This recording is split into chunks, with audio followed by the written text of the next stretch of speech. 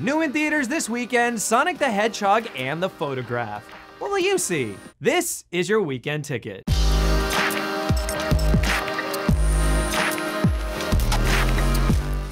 I'm Sonic, a little ball of super energy in an extremely handsome package. On my planet, people were always after my powers.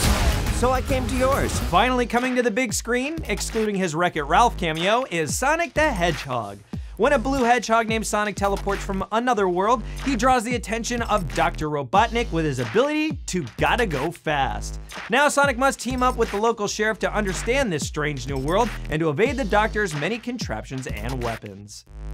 This movie is for you if you're looking for a movie for the whole family this weekend, you're excited for some long overdue Jim Carrey comedy, or if you're a Sonic fan so deep in the lore you know Sonic's favorite food. I keep reading her words. Don't you want more than this? I want you. What more do you want? My mother wasn't very good at love.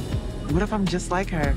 How are you supposed to know if you want to spend forever with someone? I want to try to be together. It's not practical. I'm not trying to be practical. I want to be with you. Man, Lakeith Stanfield is busy. Oh, sorry. When a young photographer is faced with being vulnerable by a blossoming relationship, she finds new confidence when she finds a photo of her mother and delves into her past.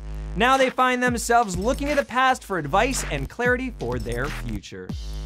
This movie is for you if a romance movie is what you seek, you're looking for a good Valentine's Day date movie, or if you're trying to keep up with all the Lakeith Stanfield movies. Let's see, I saw Uncut Gems, Knives Out, Get Out, Sorry to Bother You. Oh, I haven't seen Atlanta.